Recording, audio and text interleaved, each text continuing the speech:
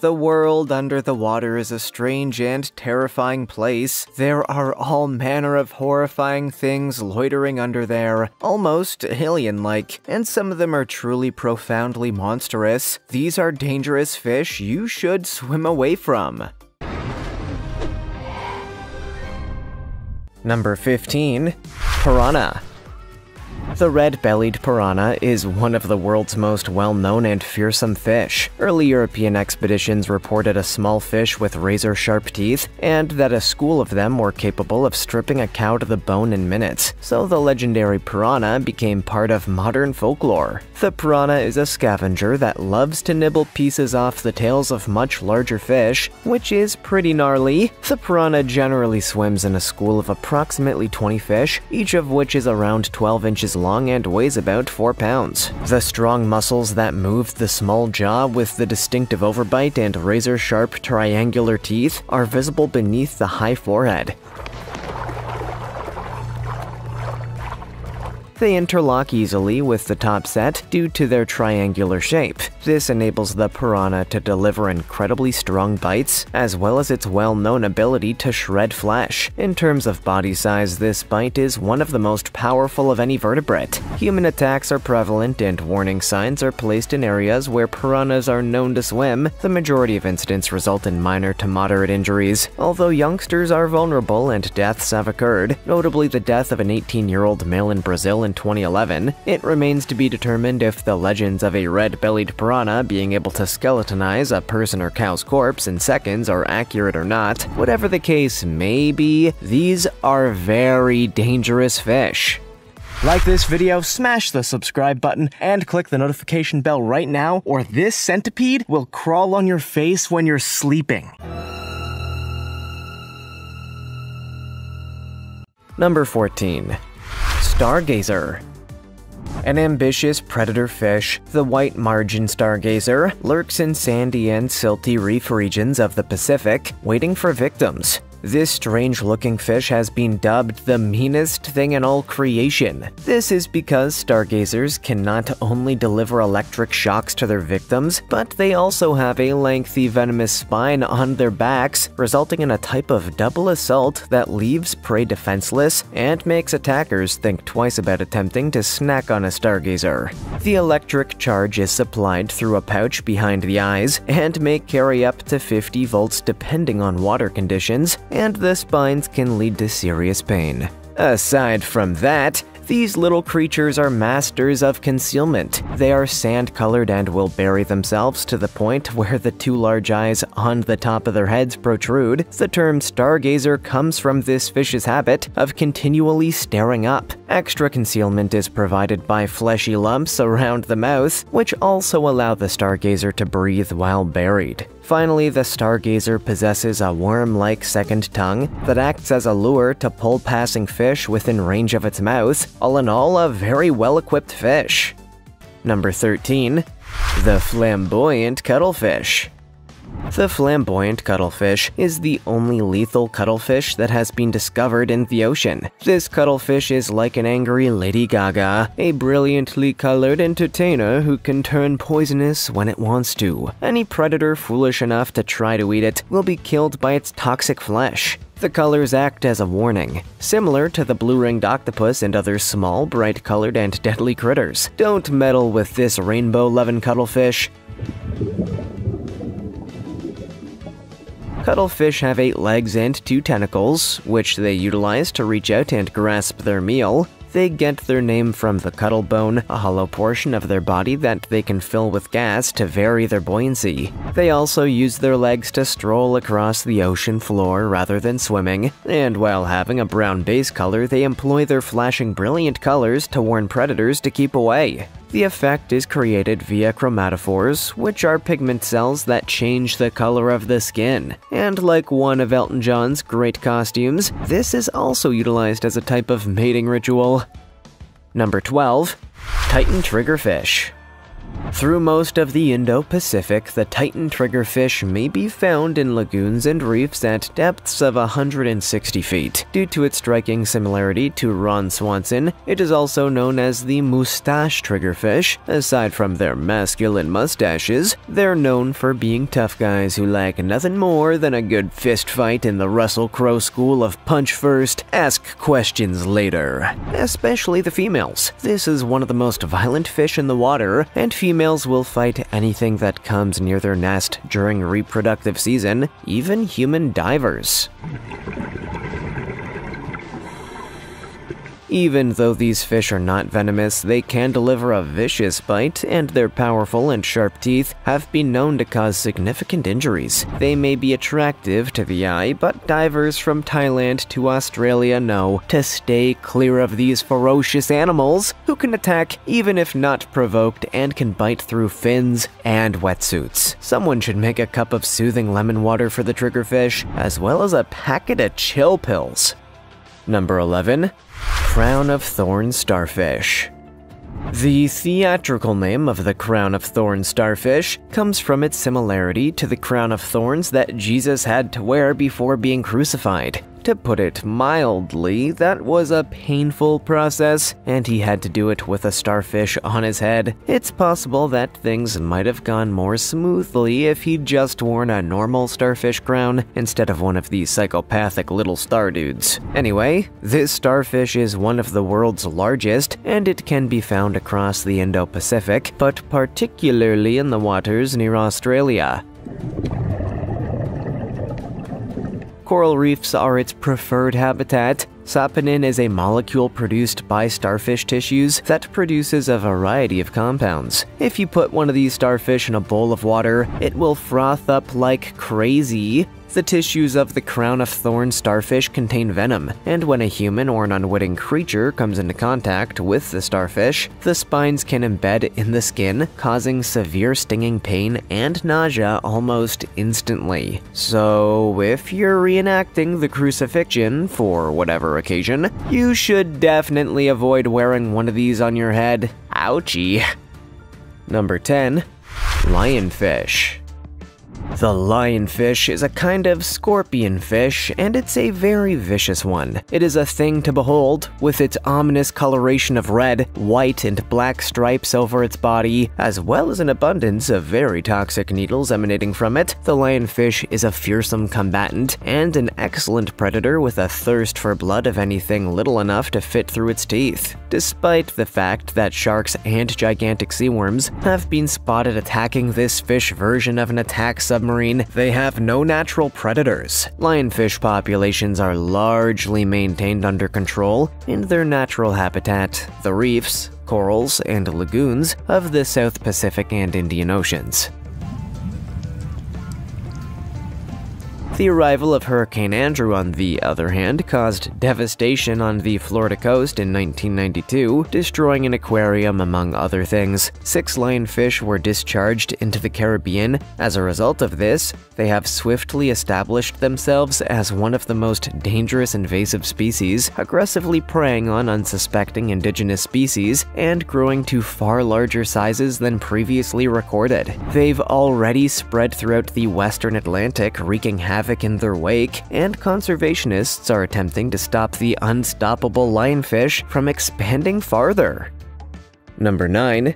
Candiru the tales of the Candiru fish stand out among the countless stories of weird, frightening monsters that inhabit the Amazon River. The Candiru fish, Vandellia cirrhosa, is a tiny catfish that is said to go into the, uh, ahem, personal orifices of those who pee in the Amazon rivers. According to legend, the fish confuses human urine with water ejected from other fish's gills. The candiru swims up into the genitals of the unfortunate individual, much to their chagrin. It is quite tough to remove due to the spines on its head. Genital amputation is often the only way to save a person's life.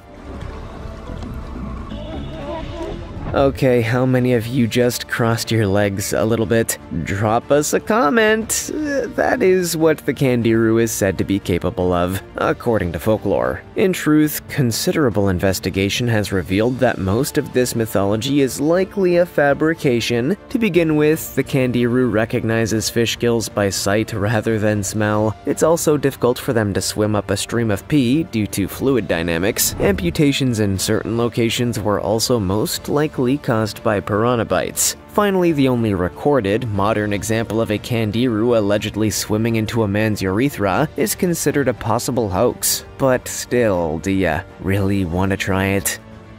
Number 8. Stingray we were all devastated when we found out in 2006 that Steve Irwin, an internationally beloved television personality, had gone before his time at the age of 44. For a man who had spent his whole life hanging out with some of the world's most fearsome animals, the news that he had been killed by a stingray was even more shocking. The majority of the time, stingrays are believed to be harmless. Since 1945, just two people have died from stingray stings in Australian waters. One of them was Irwin. They were unfortunate both times, as the stinging barb hit them in the torso, delivering the venom straight to their hearts. However, it only goes to show that the fish we love to swim with may be hazardous under given conditions. The venom does have an anesthetic effect. The ancient Greek doctors used it as an anesthetic for dental surgery patients, which is pretty cool. Just don't trying to perform any home dentistry with a live stingray, that is going to end badly, I would say. Number 7. Stonefish.